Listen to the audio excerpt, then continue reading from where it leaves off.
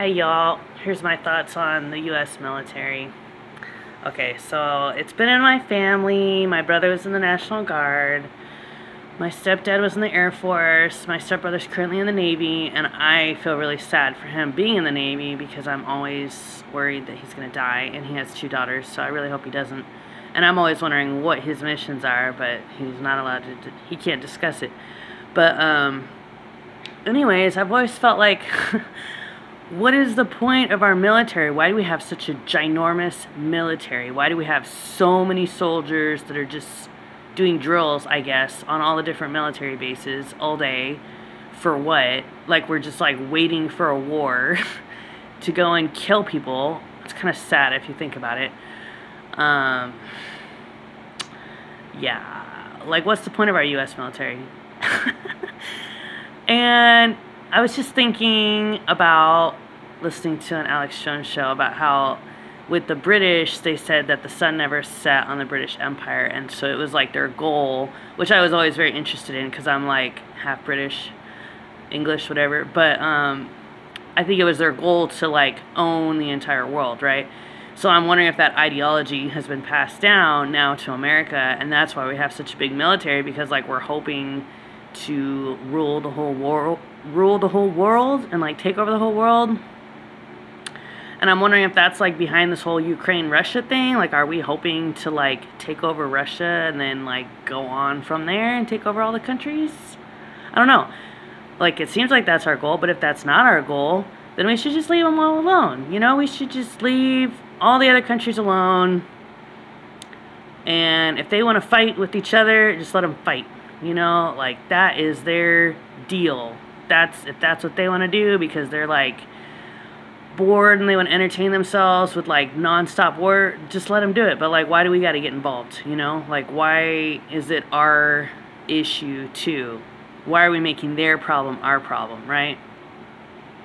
That's just something that I've always thought of. Like, why do we get involved with all these other countries and their conflicts and then we lose our soldiers and our weapons and our money and tax dollars? how I feel like if we're going to be involved in every other country, I think we should be like sending them food. Wouldn't that be nice? Wouldn't that be nice if instead of taking life and killing people, we were actually bringing life? Like, why can't our soldiers, instead of like going over and shooting people, why don't we go take them some food, like some rice or some bread or something, you know? Why don't we spend money on food for other countries instead of ammunition and rockets and nuclear like why do we do all that why do we do all that why don't we try and feed everybody you know I've always had a heart for the homeless and for feeding the homeless you know I think it's something that everybody should have on their heart that you know we should be taking care of the poor in some way in some way if you're blessed you're not just blessed for yourself, you're blessed so that you can bless other people. And I feel like that's how we should be as America. We should be blessing other countries. Like we have extra. Why don't we help feed the rest of the world rather than go to war with the rest of the world? Like, wouldn't it be better if we just like feed everybody instead of kill them? Just a thought. you know, just a thought. Oh, it's just something that I've always thought about. You know, and then you, you like my whole life, you know, you've seen these commercials about these starving children in Africa, and you're just like, why? Like, why are they starving? Like, don't we care at all? And then we have this excessive wealth in America where some people have millions or billions of dollars. Why don't we distribute the wealth? why don't we distribute the food? You know, and then you got Americans getting like pretty overweight, which is obviously bad because it leads to diabetes and all kinds of health issues.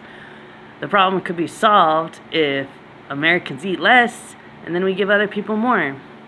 But the problem is how do we distribute that wealth? Because obviously everybody could sponsor a child through World Vision or give to an organization, but how do you know that that money is actually going to go to the starving people, a lot of times it just goes to the person who's running the organization and they get rich.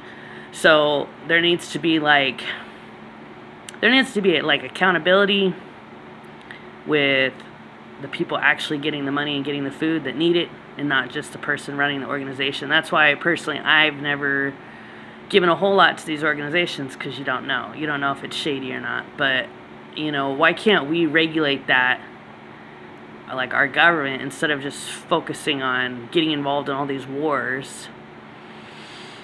Why can't we regulate stuff like